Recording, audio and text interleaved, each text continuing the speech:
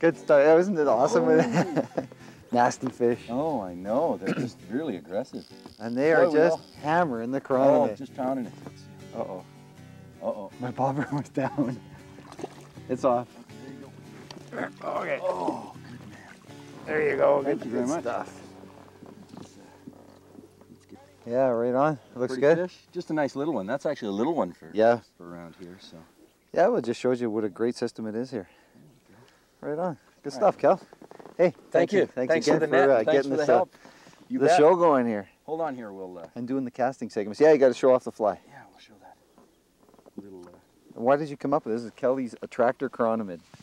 How'd you come up with that? well, I, I came up with this. Yeah, you'll get a good shot of it there. Yep. You can see it shining in the Yep. Right on. How'd you come up with that? Well, I just thought that, that we have attractor patterns for virtually every other type of insect that we imitate. And it just didn't make sense to me that, that, that this shouldn't be one of those as well. Rod Zavaduk started tying these as well, too. Right. So I can't take total blame, claim for this, but we both started tying them, and, and this was a, this is a great pattern. Right on. And it's, uh, it's proven its worth right now. Good stuff. So uh, let's go catch a couple more. yeah.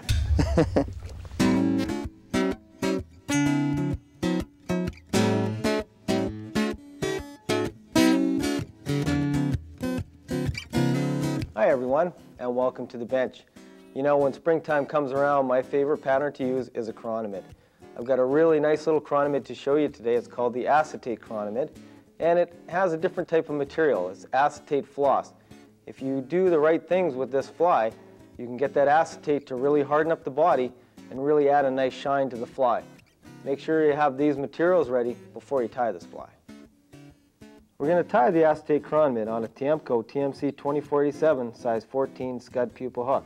And we're going to put a small glass bead near the eyelet to imitate an air bubble. We'll be using black thread, 8 aught, some white Fentex for the butt.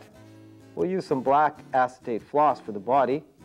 To segment the body, we'll use some small silver wire, some pheasant tail for the wing case, some peacock herl for the head, and we'll dip the acetate floss in acetone to thin it, melt it, and form the body.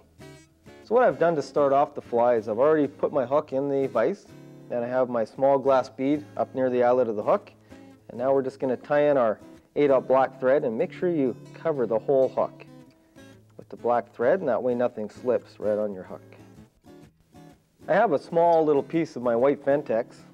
I'm going to put this on right at the very base, right at the bend of the hook, pull it out, stretch it back, and this is actually going to imitate the small tail that chironomids have.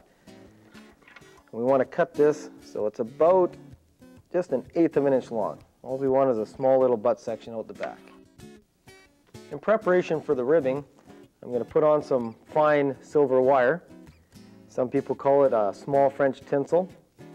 And we'll just wrap that back, wrap it fully into the body, right down to the butt, and we'll hold that back for ribbing later. For the body now, we're going to use some acetate floss. And this acetate floss is, is quite thick and it's really fine material. Kind of tough to work with. I like to use a bobbin. So what we're going to do is tie it in. Remember, chironomids have a very thin body, so try to keep it as thin as possible. And we'll tie that body right down to the butt section and then bring our thread back up towards the eyelet. Now we're going to slowly wrap our acetate floss to form the body. And just keep wrapping it, keeping it nice and tight. You want to form a nice thin body. Remember, this floss is really tough to work with because it just falls apart. But keep that body thin, keep wrapping. Now that the acetate body is tied in, we're going to take our ribbing we've had sitting back there. That's the uh, silver wire. And we're slowly going to segment the body. Because chironomids do have a nice segmented body. It really doesn't matter how many turns you make, as long as the segments are fairly even. Now what I've done is whip finished off my fly just to get rid of the thread. We're going to take the fly out of the vise and get a pair of tweezers and in a vial I've added some acetone into this vial. And what we want to do is dip the fly, the acetate floss, right into that acetone to help dissolve it. And what this is going to do is form a real nice glossy body. You know, one thing to remember about acetone is it is a solvent or a thinner. It does give off fumes. Make sure you use it in a well-ventilated area. Now that we've got our, our body nice and glossy and formed with the acetate floss, we're going to tie our thread back on and prepare to put on the thorax and the head and the wing case. Now we have our thread tied back on to the head of the fly. We're going to take few strands of our pheasant tail and tie it in and we'll form a wing case with this material later.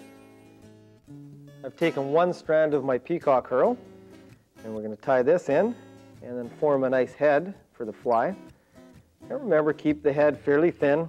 You only want one strand of peacock herl because chironomids do have a, a very thin body and head.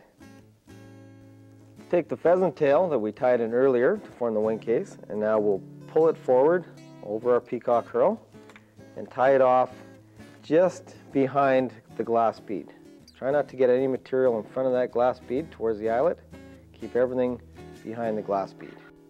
The special thing about this fly is definitely the acetate floss. Once you dip that acetate floss in the acetone, it not only makes a very effective pattern, but a very durable one too.